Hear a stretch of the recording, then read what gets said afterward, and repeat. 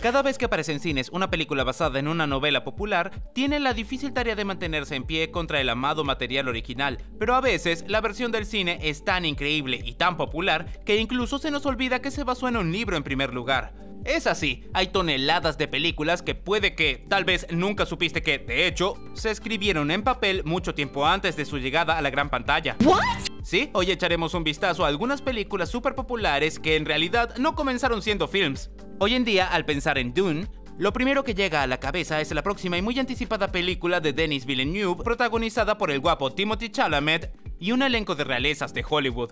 Incluso podría saber que esta película ya es de hecho un reinicio de la versión de 1984, que fue dirigida por David Lynch, y ahora está entre las favoritas de culto a pesar del hecho de que los fans siempre han discutido sobre si en verdad es o no es una buena película. Pero si no eres fan de la ciencia ficción, puede sorprenderte saber que ambos largometrajes están basados en una muy llamada novela de 1965 llamada... ¿Lo adivinaste? Dune. Escrita por Frank Herbert, es de hecho la primera novela de toda la saga de libros y muchos consideran que es uno de los mejores, sin mencionar que es uno de los libros de ciencia ficción más vendidos de todos los tiempos. Es tan amado que muchos directores trataron de llevar Dune a la gran pantalla y han fallado. El intento más famoso fue el del artista franco-chileno Alejandro Jodorowsky y el director de Alien Ridley Scott, quienes trataron por casi una década darle vida al mundo de Dune durante los años 70. Ahora que la tecnología y los efectos visuales han dado pasos gigantescos, parece que Villeneuve en verdad podría ser el primero en realizarla.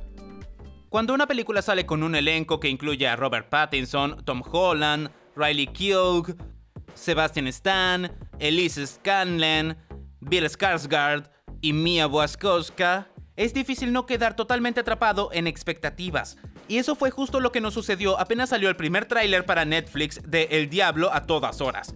Es muy fácil cegarse por el poder y peso de las estrellas de esta película y no darse cuenta de que de hecho era una novela antes de que algunos de los mejores y más brillantes de Hollywood la adoptasen. Publicada en 2011 y escrita por el autor norteamericano Donald Ray Pollock. El Diablo a todas horas es una historia tan alegre como lo indica su título. El libro sigue a un grupo de personajes que viven en el sur de Ohio y este de Virginia durante las consecuencias de la Segunda Guerra Mundial. Algunos de los personajes en el libro incluyen a un matrimonio de asesinos seriales, un predicador falso y un veterano de guerra luchando por superar el trauma del campo de batalla. Todos con sus propios secretos y pasados oscuros, sus vidas se entrelazan de formas inesperadas a lo largo de esta oscura y gótica novela de crimen. Bien, sabemos que al incluir el Club de la Pelea en la lista, es probable que enojemos a los fans de Chuck Palahniuk, al atrevernos a sugerir que algunos miembros de la audiencia podrían no haberse dado cuenta que la película se basó en la obra más famosa del autor, pero siguiendo los pasos de Tyler Durden, igualmente lo haremos, porque es cierto. Aunque Palahniuk es un director famoso e increíble y el Club de la Pelea es una de sus novelas más prolíficas, Existen algunas personas que simplemente podrían no saber que la película de la que se supone no deberíamos estar hablando, de hecho comenzó como un libro. Eso es lo que ocurre cuando juntas a las imparables fuerzas de David Fincher, Edward Norton, Elena Bonham Carter, Brad Pitt y sus abdominales.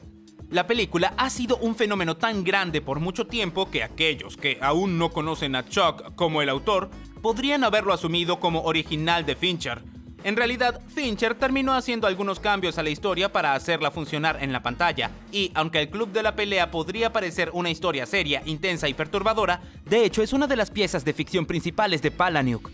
Oye, mira eso, es David Fincher de nuevo. Parece que este tipo en verdad adora adaptar un gran libro a una película igual de buena, como La chica del dragón tatuado, Mindhunter y Gone Gear. Pensamos en agregar Gone Gear a la lista, ya que es una genial adaptación, pero dado que la novela en la que se basa es casi tan famosa como el libro, entonces decidimos voltear a red social. Y de hecho, quedamos muy sorprendidos al descubrir que también se basó en un libro, pero esta vez fue por decisión un trabajo sin ficción. Red Social está basada en un libro sin ficción llamado Multimillonarios por accidente de Ben Mesrich y publicado en 2009. El libro sigue a Eduardo Saverin y a Mark Zuckerberg durante la creación de Facebook y los posteriores litigios que se dieron entre Zuckerberg, Saverin y unos cuantos más. El guion de la película fue escrito por el destacado Aaron Sorkin, quien le inyectó su marca de diálogo acelerado dentro de la historia de un grupo de adolescentes que no tenía idea de que estaban a punto de cambiar para siempre el mundo que conocemos.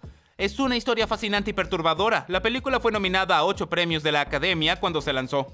No todas las adaptaciones de películas requieren una larga novela como material de origen, sino mira La Llegada, la obra de ficción del 2016 escrita por Denis Villeneuve protagonizada por Amy Adams y Jeremy Renner, basada en La historia de tu vida, una historia corta de Ted Chiang del año 1998. La llegada acompaña a la lingüista Louise Bank cuando es convocada por el ejército de Estados Unidos para ayudar a investigar una de 20 naves extraterrestres que aterrizaron en diferentes locaciones en todo el mundo.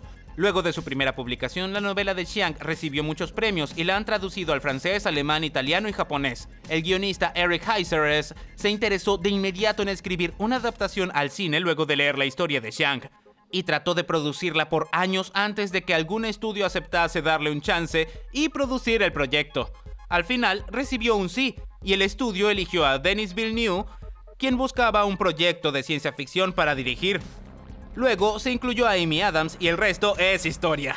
Aunque la película se desvía de la historia en varias maneras, ambos siguen al personaje de Louis mientras logran entender el lenguaje alien y sus diversas formas de percibir el tiempo. La obra logró que la nominasen para muchos premios y recibió alabanzas unánimes tanto de la crítica como de la audiencia. Aniquilación fue una de las películas más alucinantes, extrañas e inesperadas que salió en 2018 protagonizada por Natalie Portman y escrita y dirigida por Alex Garland. La película sigue a un grupo de científicas femeninas mientras van a una expedición por lo visto maldita hacia una misteriosa cosa que todos llaman Área X. Lo que sucede allí dentro es una mezcla de otro mundo de cambios biológicos y celulares que deforman tanto al equipo como al mundo a su alrededor. Es una película increíble y extraña, y claro, se basó en un libro igual de extraño y asombroso. El libro, también llamado Aniquilación, es de hecho el primero de la trilogía llamada Southern Ridge, escrita por Jeff Vandermeer.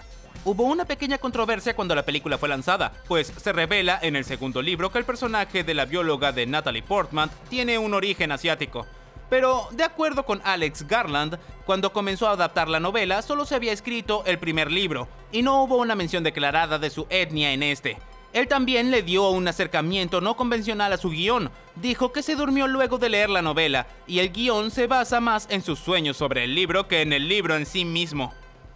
El Dr. Hannibal Lecter se ha vuelto uno de los villanos de ficción más prolíficos e infames de toda la historia de la cultura pop, y nada de ello hubiese sido sin El silencio de los inocentes, y no, de hecho no estamos hablando sobre la película de 1991 protagonizada por Sir Anthony Hopkins. Hablamos acerca del libro en el que se basa esta famosísima película. Escrito en 1988 como una secuela de su primera novela, Dragón Rojo, El silencio de los inocentes fue creado por el autor norteamericano Thomas Harris. Aunque sí conocimos a Lecter en Dragón Rojo, que fue publicado siete años antes en 1981, no se le colocó en contra de su contraparte más improbable, la agente en entrenamiento del FBI Clarice Starling, sino hasta El silencio de los inocentes. Aunque hubo una adaptación de la primera novela Dragón Rojo en 1986 llamada El sabueso en México, no recibió el tipo de grandes alabanzas que El silencio de los inocentes recibiría solo cinco años más tarde.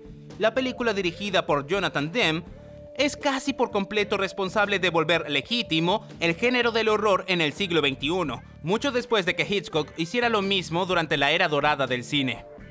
Aunque el director Bong Joon-ho sea muy conocido en Corea del Sur ya desde hace años, a la audiencia norteamericana le tomó un poco más de tiempo entender cuán increíble director es él.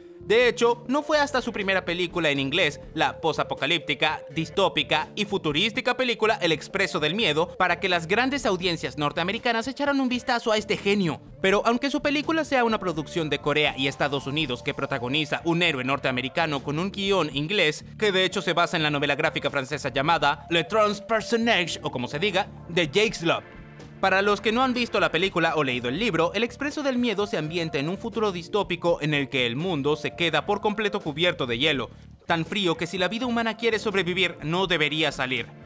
Dado esto, los únicos humanos sobrevivientes viven dentro de un tren llamado el Expreso del Miedo, que recorre todo el mundo a suficiente velocidad para mantenerlos con vida y evitar el frío, pero claro, no tratan igual a todos los pasajeros, y hay una gran división entre los ricos, que viven con lujos adelante del tren, y el resto que se ven forzados a vivir atrás y en la miseria. Eventualmente, la mayoría de los oprimidos comienza a luchar contra los opresores y, pues no vamos a contarles nada más porque es una película y una novela gráfica que mereces experimentar por ti mismo. Oye, mira, otro tren. Bueno, de hecho no, pero vamos a hablar sobre Trainspotting, la muy exitosa y aclamada película dirigida por Danny Boyle, y el libro de Irving Welsh de 1993 en el que se basa. La novela en sí está fragmentada en siete secciones. Sigue al personaje principal, Mark Renton, a través de su viaje como un adicto a la heroína luchando para estar y mantenerse limpio. También presenta al grupo de amigos adictos y compañeros de Mark, mientras avanzan con sus vidas. Al libro en sí mismo se le considera responsable de hacer a la ficción buena de nuevo por escribir dicha obra. Y la adaptación al cine solo le dio un empujón a la historia para subir incluso más a la fama. Además tuvieron éxito al hacer una buena secuela en 2017. Los fans cuando escucharon de ella se emocionaron. Ah, Cats. El largometraje musical que nadie quería en verdad, pero que se volvió una sensación masiva por cuán increíblemente rara y confusa resultó. Aunque posiblemente sepas que esta película se basa en un antiguo y sensacional musical de Broadway del mismo nombre, pues te podría sorprender saber que el musical, de hecho, se basa en un libro. Una obra de poesías para ser más exactos. El libro de los gatos habilidosos del viejo Possum es una colección de poemas de T.S. Eliot. Trata sobre la vida y los secretos de un grupo de gatos caprichosos. Más tarde se usó la música de Andrew Lloyd Webber, y se ha presentado en Broadway y en teatros de todo el mundo desde 1981. Algunas de estas películas simplemente son muy famosas, es fácil ver cómo los libros en los que se basaron fueron un poco olvidados, pero los fans reales jamás los dejarán desaparecer. ¿Qué piensas de estas adaptaciones? ¿Hay algunas otras geniales que olvidamos? Dinos en los comentarios y no olvides suscribirte para estar al día con los últimos videos de De Película. Adiós chicos.